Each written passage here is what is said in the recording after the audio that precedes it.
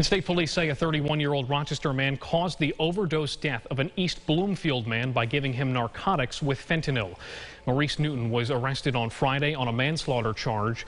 State police say this happened in December 2019. He was taken to the Ontario County Jail awaiting arraignment.